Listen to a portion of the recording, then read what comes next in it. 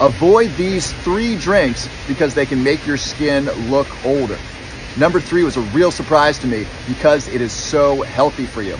If you're new to my channel, hi, my name is Robert Love. I'm a neuroscientist. I specialize in helping people prevent Alzheimer's disease with science. Drink number one, there's been some debate about it is alcohol. Now, before, alcohol was thought to be really healthy for your heart. Alcohol does reduce stress in the short term, but actually in the long term, it increases stress. So alcohol ages your skin.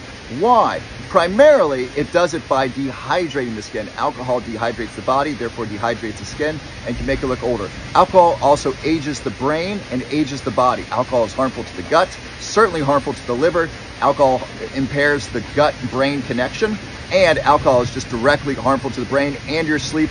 All of those things make alcohol extremely damaging to your skin and to your whole body as well. Drink number two to avoid. This one's an obvious one.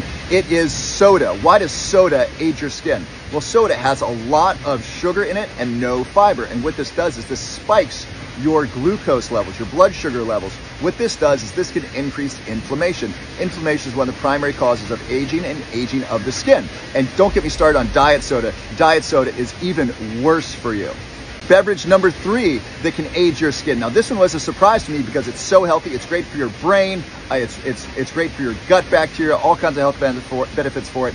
It is coffee. Now, why is coffee damaging to the skin? Why is coffee age the skin?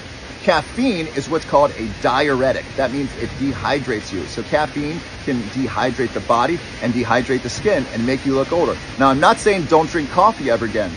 If you do like coffee or drinks that contain caffeine, and many of them are very healthy for the brain and for the body, make sure you drink plenty of water.